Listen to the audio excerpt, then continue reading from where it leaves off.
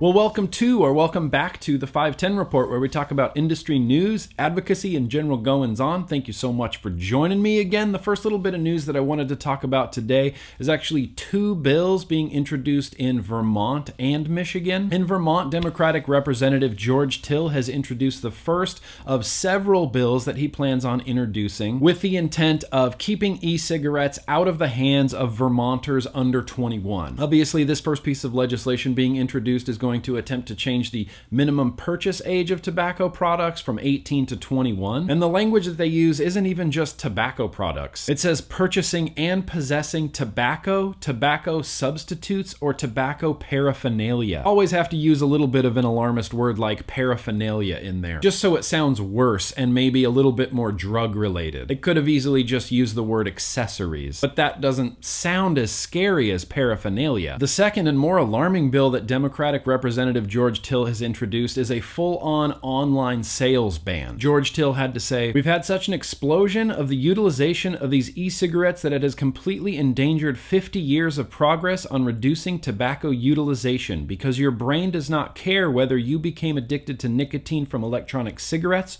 or traditional tobacco. You need that nicotine. And he's absolutely right there. Your brain doesn't know the difference between nicotine from a cigarette or nicotine from an electronic, less harmful vape vapor product, but I think it's pretty safe to say that your body and lungs definitely know the difference. One of those products is packed with additives and carcinogens, things that lead to, you know, lung disease, lung cancer, COPD, emphysema, and the other is a tobacco harm reduction tool that is 95% less harmful for you. Democratic Representative George Till loves to just make up stuff too, I think. He says in this article, there are 10,000 kids in Vermont using tobacco who could die prematurely because of their nicotine use. Representative Representative Till, you can't just throw numbers out there that aren't backed up by anything. Where did this 10,000 number even come from? And outside of cigarette smoking, is there anybody in the history of America that has become sick or died from just nicotine use? Nicotine use from a product that is 95% less harmful for you? And I think the last quote in this article from Representative Till is very telling. He doesn't mention anything about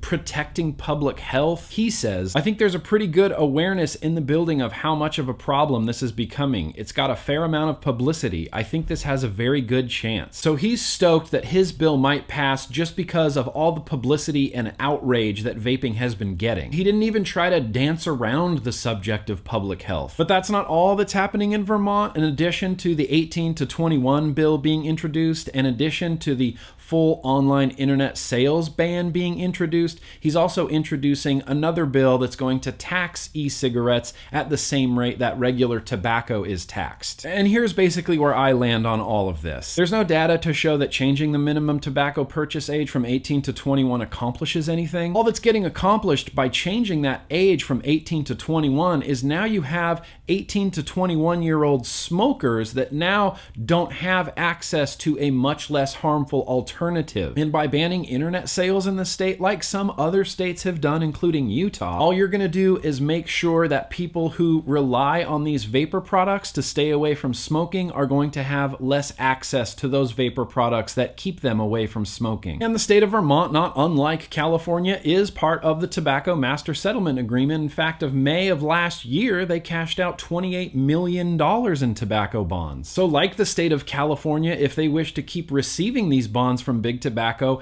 they need more cigarette sales. And I think raising the age from 18 to 21, banning internet sales, and taxing less harmful vapor products at the same rate as tobacco products will probably generate a lot more cigarette sales, which in the end, that sounds like what Representative George Till wants to do anyway. And now moving to the bill in Michigan, they are, of course, introducing bills in Michigan to keep youth access away from vapor products. But if passed, the way that they're doing this in Michigan is to treat vapor products much more like a controlled substance. Under House Bill 4017 in Michigan that's getting introduced, possession of vapor products by someone underage would be a misdemeanor. And those misdemeanors can carry penalties in the form of fines or up to 16 hours of community service for getting caught possessing vapor products. Second time offenders would have to do 32 hours of community service, and third time offenders would have to do 48 hours of community service. The strangest part about this whole legislation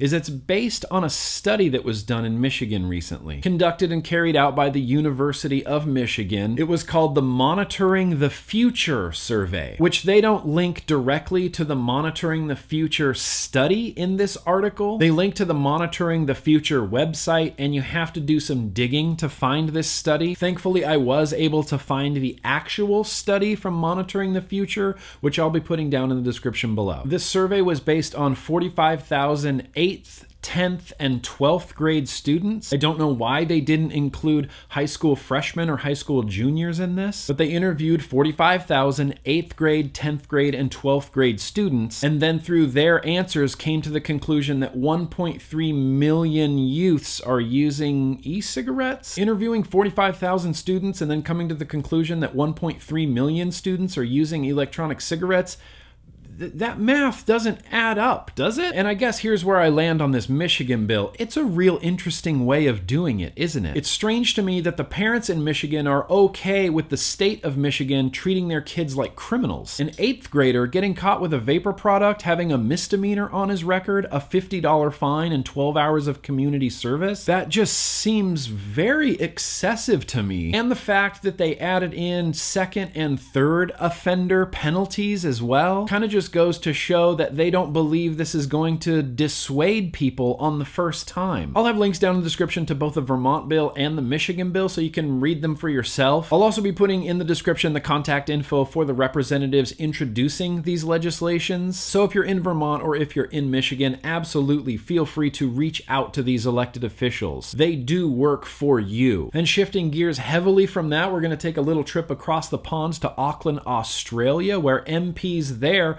are urging the government to make vapor products more accessible to smokers. MP Nikki Wagner in Auckland, Australia said The Ministry of Health has highlighted the potential for vaping to be used as a smoking cessation tool to help achieve smoke free 2025, and yet the government will not move to make e cigarettes and vaping devices more accessible. Auckland, Australia has a smoke free goal of 2025 by utilizing less harmful vapor products. MP Nikki Wagner has also been very critical of Australia's government talking about the year over year tax increases on tobacco products, saying that yes, these year over year increases on tobacco prices are stopping people from starting smoking. But she says now we must help our most ingrained smokers who are not put off by price by providing an alternative like vaping. Obviously, MP Nikki Wagner in Australia doesn't want vaping to just run rampant and be un- completely unregulated in the country. She describes the regulations she's introducing these regulations would prohibit sales to under 18, allow the ability to encourage vaping on tobacco products,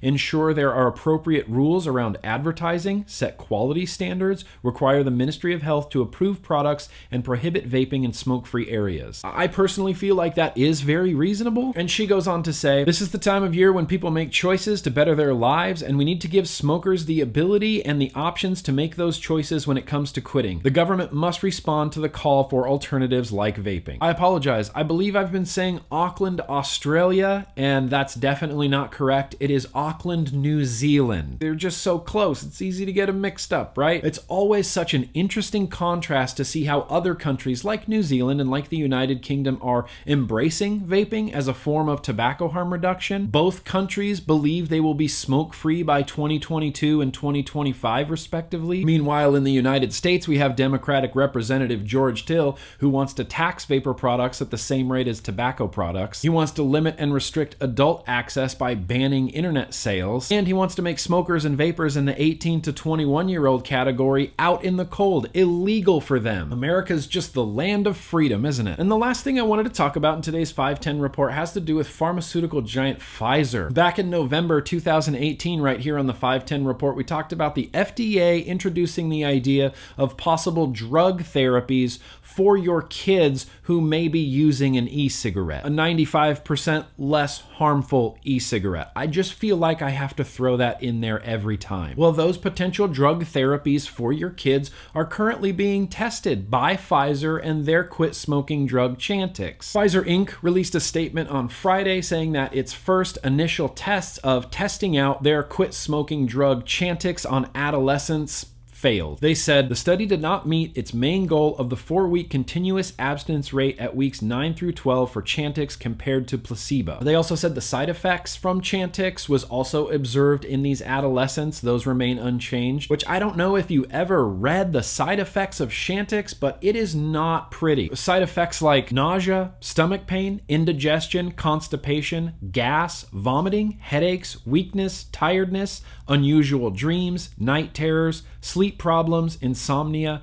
headache, dry mouth, burning feeling in the feet or toes, unusual pain in the legs when walking. Pfizer wants to give your kids Chantix and is already actively testing Chantix on adolescents. Fortunately, I guess for everybody, that study failed, but I have a feeling that this isn't going to stop Pfizer. I get the vibe that they're going to do whatever they can to develop a drug to give your kids. Nowhere else in the world is this happening. There are no big pharmaceutical companies in the United Kingdom developing developing drugs for your kids to get them off of vapor products. There are no big pharmaceutical groups in New Zealand developing drugs to get your kids off of vapor products. But for some reason, here in the United States, we just kind of let big pharma do whatever. Sure, drugs? You want to give drugs to my kid? Okay. And I think right there is where we're going to end this week's 510 report. As always, I would love to get your feedback down in the comments below. As I said earlier, if you're in Vermont or you are in Michigan, all of that information, including the representatives that introduced the bills, their contact information,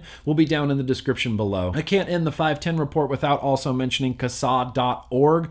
Go and sign up. It's free, it's easy. All you need is an email. If you want to know about possible negative vape legislation happening in your particular city, state, or area, CASAA, CASAA.org, follow the calls to actions. And as Kevin Skipper always said, you don't have to do everything, but you do have to do something. Let's get involved.